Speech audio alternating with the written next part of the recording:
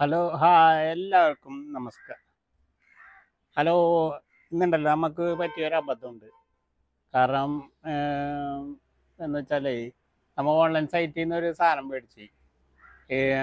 പരസ്യം കണ്ടിട്ട് അതിൽ ഫേസ്ബുക്കിൽ പരസ്യം ഉണ്ടല്ലോ അത് അങ്ങനെ സ്ക്രോൾ ചെയ്ത് നോക്കുമ്പോഴാണ് പരസ്യം കണ്ടത്. പരസ്യം കണ്ടപ്പോൾ അതിൽ തന്നെ അത് നല്ലതാണെന്ന് തോന്നിയിട്ട് ഓർഡർ ചെയ്ത്. എന്ത് സാധനം വെച്ചാൽ തരാട്ടാ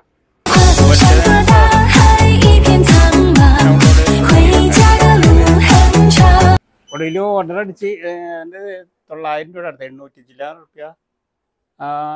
എണ്ണൂറ്റി അമ്പത്തൊമ്പത് രൂപ കണ്ടായി മറ്റേ ഡെലിവറി ചാർജ് അടക്കം. അങ്ങനെ ഓർഡർ അടിച്ചിട്ട് സാധനം വന്നു വന്ന് പെട്ടി തുറന്നു നോക്കിയപ്പോഴാണ് മൂന്ന് കുത്ത് ചീട്ട്. ഈ സൈറ്റ് പിന്നെ ഇത് നോക്കി നോക്കിയിട്ട് കാണുന്നില്ല ഇത്. എവിടെ ഏതിലാണ് ബുക്ക് ചെയ്തതെന്ന് പേര് ഓർത്ത് വെച്ചില്ല.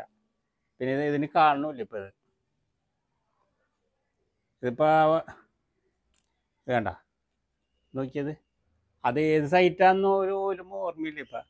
എവിടെ നിന്ന് എങ്ങനെ മേടിച്ചെന്നുള്ളത് നമ്മൾ ഫേസ്ബുക്കിൽ പരസ്യങ്ങൾ വരുമല്ലോ അപ്പോൾ അങ്ങനെ അത് ചെയ്തിട്ട് അതിൽ തന്നെ അപ്പം തന്നെ ഇത് ഫോൺ നമ്പറും അഡ്രസ്സൊക്കെ വെച്ച് സാധനം ഓർഡർ ചെയ്ത്. ഓർഡർ ചെയ്ത് വന്ന് കഴിഞ്ഞ് പൊട്ടിച്ച് കഴിഞ്ഞപ്പോഴാണ് ഇത് ഇങ്ങനത്തെ ഫ്ലിപ്കാർട്ടിന്റെ കവർ പോലത്തെ കവറാണ് ഇട്ടേക്കണം അതിന്റെ ഉള്ളിൽ ഒരു പെട്ടി. ആ പെട്ടിയുടെ ഉള്ളിലാണ് ഈ മൂന്ന് കുപ്പി ചീട്ട് എണ്ണൂറ്റി ചില്ലാൻ റുപ്യ കഴിയുന്നതായി ഇത് ഇപ്പോൾ മഴക്കാലമല്ല മഴക്കാലം ആയതുകൊണ്ട് ഇൻട്രസ്റ്റ് ഒക്കെ ഉണക്കാനിടാൻ വേണ്ടി അകത്തിടാന്ന് വെച്ചിട്ട് മേടിച്ചാണ് അല്ലെങ്കിൽ ഇപ്പം ഉമ്മ നേരെ അതുകൊണ്ട് മേപ്പോട്ട് കയറും.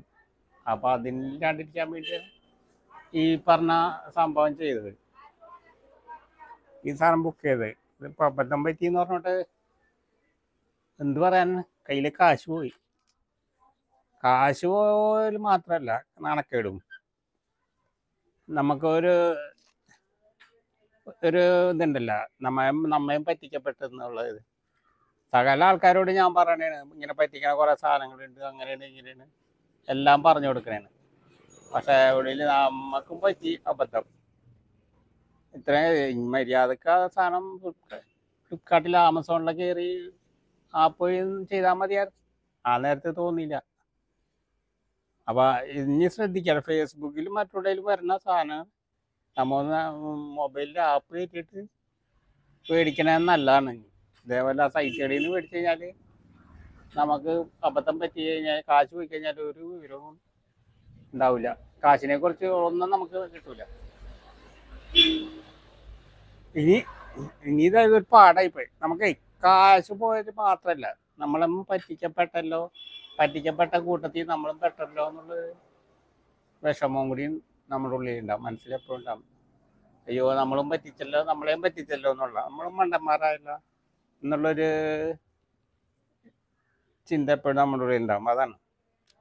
എന്തായാലും ആകെ തൊണ്ണൂറ് രൂപയുടെ ചീട്ട് കിട്ടി. അപ്പോൾ ഓക്കെ ഇനിയെങ്കിലും ശ്രദ്ധിക്കാൻ ഞാൻ തന്നെ ശ്രദ്ധിക്കാൻ നോക്കണം. Okay bye